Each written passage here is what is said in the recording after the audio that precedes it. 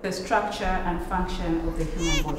So now, in order for us to understand the structure of the human body, Experience distance learning that feels like you are in a classroom.